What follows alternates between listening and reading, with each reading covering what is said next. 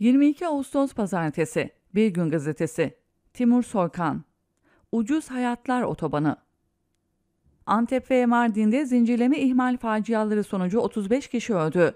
Bu kara günde unutulacak. Aynı Lüleburgaz'da bir buçuk ay önce 6 kişinin öldüğü otobüs kazası gibi. Kazada ölen şoför 2 saat uykuyla sefere zorlanmış. Bu ülkede yaşam çok pahalı ve hayatlar çok ucuz. Cumartesi günü Antep ve Mardin Derik'teki iki kaza göz göre göre iki facia doğurdu. Antep'te kaza yapan araçtan yola dökülen yağ ve yakıtta yolcu otobüsü kaydı. Bir uyarı defası konulsa 3 itfaiyeci, 3 sağlık çalışanı, 2 gazeteci ve aralarında çocukların da olduğu 7 otobüs yolcusu ölmeyecekti. 6 saat sonra Mardin Derik'in kent merkezine rampa virajla giren ölüm yolunda tır kontrolden çıktı. İki otomobile çarptı, dört kişi öldü. Olay yerinde yüzlerce kişi toplanmışken rampada yine önlem yoktu. Bir başka tır kalabalığın içine daldı. 16 kişiyi ezerek öldürdü. Derikliler tırların korku saçtığı yolda bir facia yaşanacağını yıllardır anlatıyor. Kent dışından bir çevre yolu geçmesini istiyordu. Kazadan sonra bir esnaf, 30 yıldır buradayım, aynı yerde 50'den fazla kaza gördüm diyordu. Bir günde 35 can gitti ve sonrasında hep aynı nakarat. Adalet Bakanı tüm yönleriyle soruşturuluyor. İçişleri Bakanı ihmal, kasıt her neyse bütün süreçler tetkik edilecektir. Biliyoruz bu katliamlar da adalet yerini bulmadan unutulacak. Ucuz Hayatlar Otobanı'nda hiçbir ölüm ders olmayacak.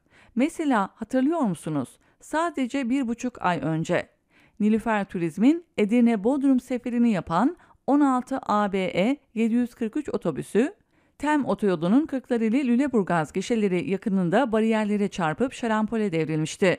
Şoför İbrahim Güner, 22 yaşındaki Ceyhun Erol, 44 yaşındaki Özcan Bayraktaroğlu, 43 yaşındaki Sebahattin İydi, 17 yaşındaki Cener Üste ve henüz 5 yaşındaki Berat Çiftçi ölmüştü. Şoförün önüne çıkan bir araç 3 şeritli çok geniş yolda bir kusur yoktu ve 6 kişi ölmüş, 26 kişi yaralanmıştı. Cumartesi günü peşi sıra facia haberleri almışken Lüleburgaz'daki kaza ile ilgili ulaştığım takipsizlik kararını dehşet içinde okudum. İnsanlar göz göre göre ölüme gönderilmiş. Kazada yaralanan muavin Samet Tunay ifadesinde 6 kişinin neden öldüğünü gözler önüne seriyor. Şoför İbrahim Güner, ikinci şoför ve muavin Samet Tunay 4 Temmuz 2022 günü İzmir'den Edirne'ye yolcu getiriyordu. İkinci şoförü İstanbul'da bırakıp Edirne'ye doğru yola devam ettiler. 5 Temmuz 2022 günü saat 3.15'te Edirne otogarında yolcuları indirdiler. Yol 12 saat sürmüştü. Nilüfer Turizm'in yetkilileri saat 18'e kadar istirahat edeceklerini söylemişti. Çoğu zaman bu kadar dinlenmelerine bile izin verilmezdi ve sevilmişlerdi. Bir otel odası onlara çok gürülüyordu ve uyumak için otobüste yattılar. Sadece iki saat sonra otobüsün kapısına firmanın amiri vuruyordu. Hemen hazırlanmalarını 14 saat sürecek Edirne Bodrum seferine çıkacaklarını söylüyordu. Şoför ve muavin aşırı yorgun ve çok uykusuz olduklarını anlatıp itiraz etti ama nafileydi. Saat 6 sıralarında otobüse yolcular alınıyordu.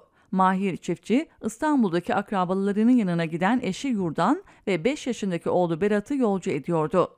Onlar koltuklarına oturduktan sonra oğlunu son kez öpüp otobüsten indi. Bu sırada şoförle muavinin uykulu, yorgun hali dikkatini çekmiş, çok tedirgin olmuştu. Saat 6.15'te gözlerinden uyku akan 12 saatlik seferden sonra sadece 2 saat uyuyabilmiş İbrahim Güner'in kullandığı otobüs Edirne otogarından çıkıyordu. 7 numaralı koltukta oturan yolcu Yılmaz Avkaya, otobüsün otogardan çıkarken perona çarpmaktan kıl payı kurtulduğunu fark etmişti. Kendisi de şofördü ve İbrahim Güner'in uykusuz olduğunu hemen anlamıştı. Gözünü şoförden ayırmıyordu. Otobanda iki kez tıra çarpmaktan son anda kurtulduğunu, otobüsü hatalı sürdüğünü gördü ama sesini çıkarmadı. Muavin Samet Tunay yolcuların biletlerini kontrol ettikten sonra boş olan 3 numaralı koltukta uyuyakalmıştı. 26 numaralı koltukta oturan Nedret Erol, Edirne'den çıktıktan sonra ani freni ilkledi. Şoför bir tırın arkasındayken ani fren yapmıştı. Endişelenerek emniyet kemerini taktı. Şoförü göremiyordu ama otobüsün dengesiz biçimde ilerlediğini fark etmişti. Babaeski yakınlarında şoför tekrar bir tırın arkasında ani fren yaptı. Otobüsün yola çıkmasının üzerinden bir saat geçmiş ve Lüleburgaz gişeleri mevkiine gelmişlerdi. Geniş otobanda otobüs sağ şeride doğru kaydı. Bariyerlere çarparak şarampole uçtu. Yaralanan muavin Samet Tunay kazadan sonra ifadesinde şöyle diyordu. Ben uyuyordum. Sarsıntı sonrası gözlerimi açtığımda otobüs havadaydı ve yere çarptık. Firma bizi aşırı derecede çalıştırıyor ve dinlenmemize izin vermiyordu. Kaza bu nedenle oldu. 7 numaralı koltuktaki Yılmaz Afkaya'nın gözü hep şoförün üzerindeydi ve kaza anını şöyle anlattı. Yol boştu, orta şeritte gidiyordu. Önümüze herhangi bir şey çıkmadı. Birden direksiyonu kırdı ve takla attık. Şoförün uyuduğunu düşünüyorum. Mahir çiftçi, eşi ve henüz 5 yaşındaki oğlu Berat'ı uğurlamasından bir saat sonra çalan telefonunu korku içinde açtı. Şoförün uykulu hali aklından çıkmamıştı. Oğlunun öldüğünü, eşinin yaralı olduğunu öğrendi. Bu bilgiler 27 Temmuz 2022 tarihli şoför İbrahim Güner hakkındaki soruşturmanın takipsizlik kararında yer alıyor.